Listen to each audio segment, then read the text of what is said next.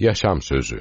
Yaşam sözüyle ilgili olarak başlangıçtan beri var olanı, işittiğimizi, gözlerimizle gördüğümüzü, seyredip ellerimizle dokunduğumuzu duyuruyoruz.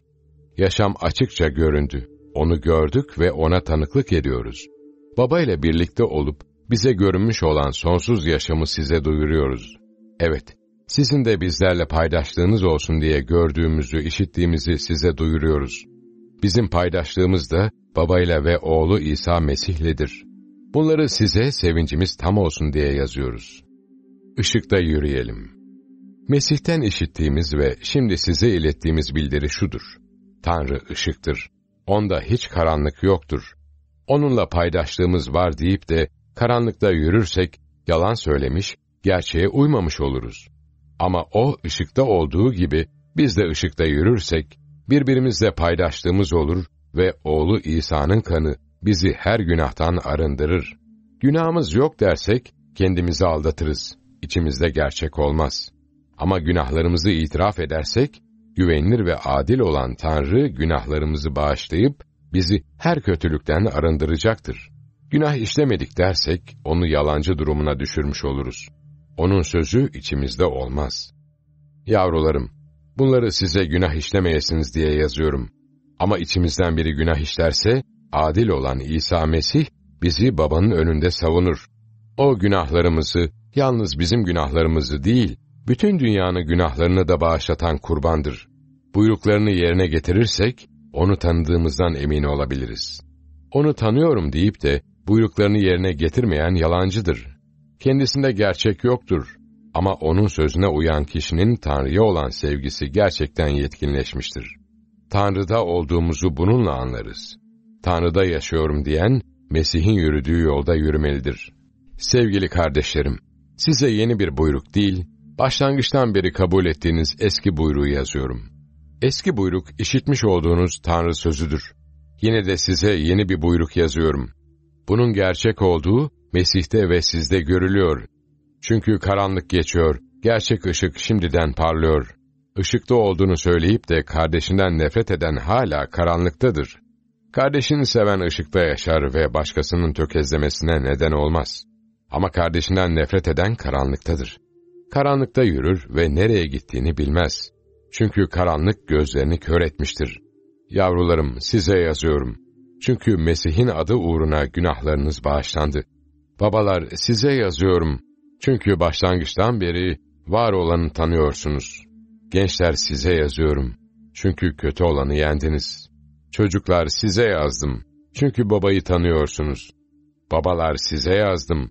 Çünkü başlangıçtan beri var olanı tanıyorsunuz. Gençler size yazdım. Çünkü güçlüsünüz. Tanrı'nın sözü içinizde yaşıyor. Kötü olanı yendiniz. Dünyayı da dünyaya ait şeyleri de sevmeyin. Dünyayı sevenin babaya sevgisi yoktur. Çünkü dünyaya ait olan her şey, benliğin tutkuları, gözün tutkuları, maddi yaşamın verdiği gurur, babadan değil, dünyadandır.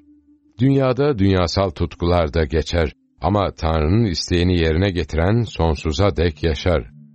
Mesih karşıtı Çocuklar, bu son saattir. Mesih karşıtının geleceğini duydunuz. Nitekim şimdiden çok sayıda Mesih karşıtı türemiş bulunuyor. Son saat olduğunu bundan biliyoruz.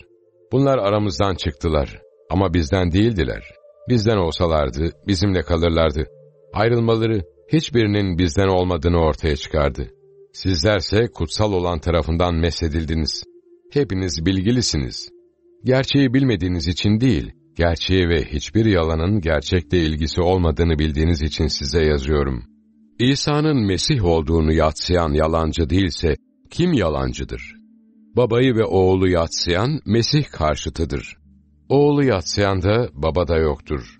Oğlu açıkça kabul eden de babada vardır. Başlangıçtan beri işittiğiniz söz içinizde yaşasın. Başlangıçtan beri işittiğiniz söz içinizde yaşarsa, siz de oğul da ve baba da yaşarsınız.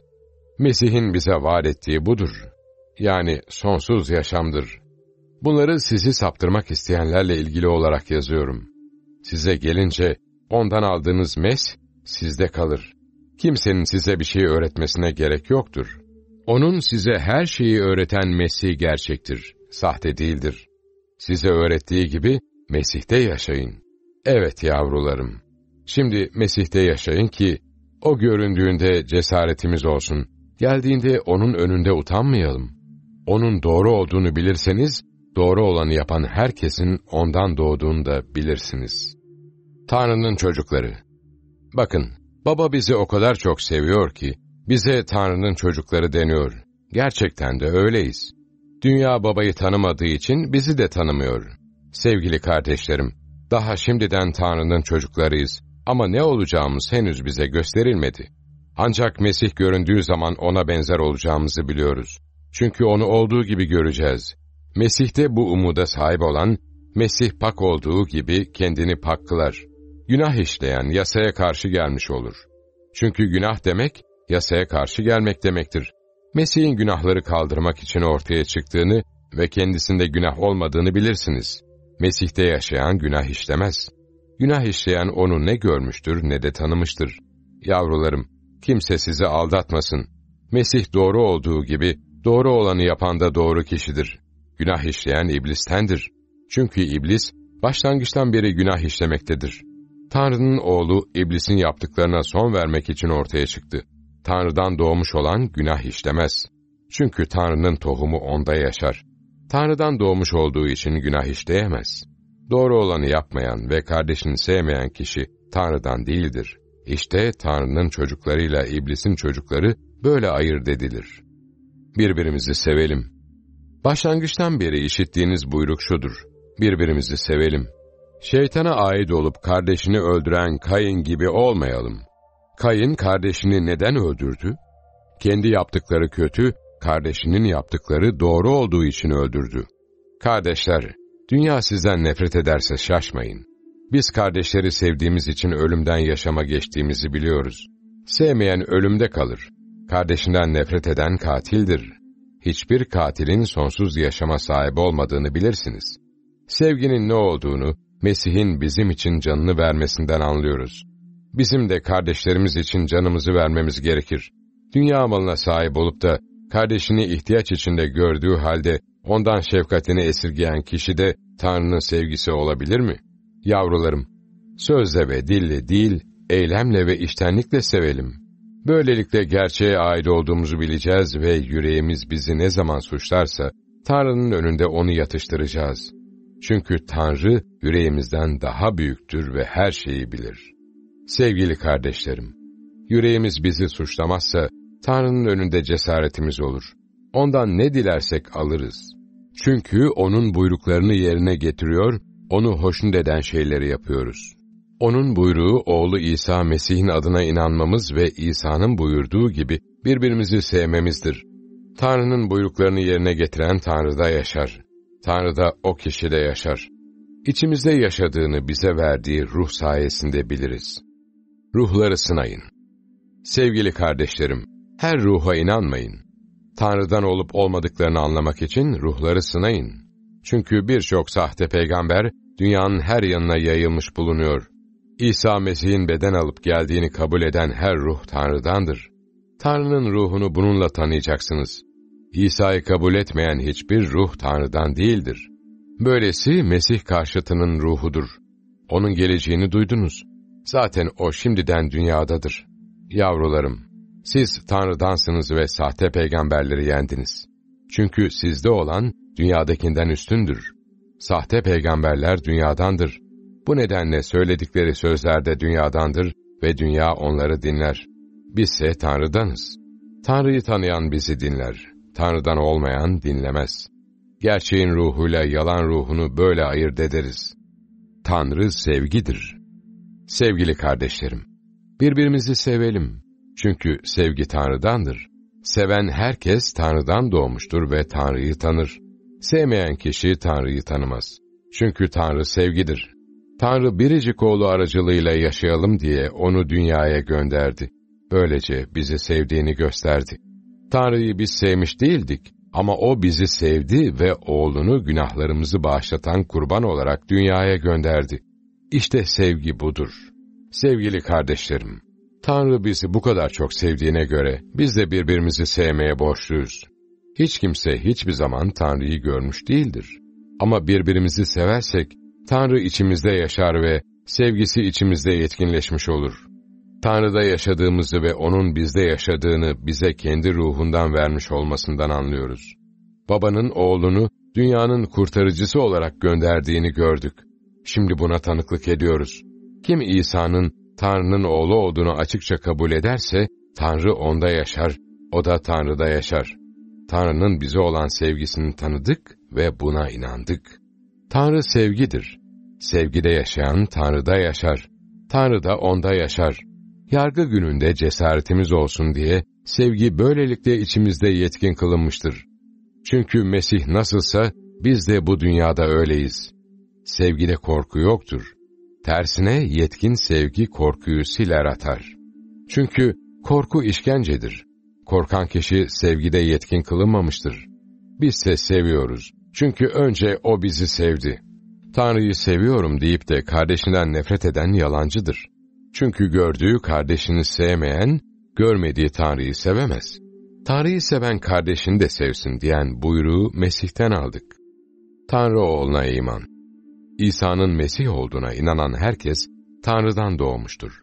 Babayı seven ondan doğmuş olanı da sever. Tanrı'yı sevip buyruklarını yerine getirmekle, Tanrı'nın çocuklarını sevdiğimizi anlarız. Tanrı'yı sevmek, O'nun buyruklarını yerine getirmek demektir. O'nun buyrukları da ağır değildir. Çünkü Tanrı'dan doğmuş olan herkes dünyayı yener. Bize dünyaya karşı zafer kazandıran imanımızdır. İsa'nın Tanrı oğlu olduğuna iman edenden başka dünyayı yenen kim? Suyla ve kanla gelen İsa Mesih'tir. O yalnız suyla değil, suyla ve kanla gelmiştir. Buna tanıklık eden ruhtur. Çünkü ruh gerçektir. Şöyle ki, tanıklık edenler üçtür. Ruh, su ve kan. Bunların üçü de uyum içindedir. İnsanların tanıklığını kabul ediyoruz. Oysa Tanrı'nın tanıklığı daha üstündür. Çünkü bu, Tanrı'nın tanıklığıdır. Kendi oğluyla ilgili olarak yaptığı tanıklıktır. Tanrı'nın oğluna inanan, yüreğinde Tanrı'nın tanıklığına sahiptir. Tanrı'ya inanmayansa, onu yalancı durumuna düşürmüş olur. Çünkü Tanrı'nın oğluyla ilgili tanıklığına inanmamıştır. Tanıklık da şudur. Tanrı bize sonsuz yaşam verdi. Bu yaşam O'nun oğlundadır. Kendisinde Tanrı oğlu bulunan da yaşam vardır. Kendisinde Tanrı oğlu bulunmayan da yaşam yoktur. Sonsuz yaşam. Tanrı oğlunun adına iman eden sizlere sonsuz yaşama sahip olduğunuzu bilesiniz diye bunları yazdım. Tanrı'nın önünde güvenimiz şu ki, O'nun isteğine uygun ne dilersek bizi işitir. Her ne dilersek bizi işittiğini bildiğimize göre, Ondan dilediklerimizi aldığımızı da biliriz. Kardeşinin ölümcül olmayan bir günah işlediğini gören, onun için dua etsin. Duasıyla kardeşine yaşam verecektir. Bu, ölümcül olmayan günah işleyenler için geçerlidir. Ölümcül günah da vardır. Bunun için dua etsin demiyorum. Her kötülük günahtır. Ama ölümcül olmayan günah da vardır. Tanrı'dan doğmuş olanın günah işlemediğini biliriz. Tanrı'dan doğmuş olan İsa Mesih onu korur ve kötü olan ona dokunamaz. Biliyoruz ki biz Tanrı'danız. Bütün dünya ise kötü olanın denetimindedir. Yine biliyoruz ki Tanrı'nın oğlu gelmiş ve gerçek olanı tanımamız için bize anlama gücü vermiştir. Biz gerçek olandayız. Onun oğlu İsa Mesih'teyiz. O gerçek Tanrı ve sonsuz yaşamdır. Yavrularım, kendinizi putlardan koruyun.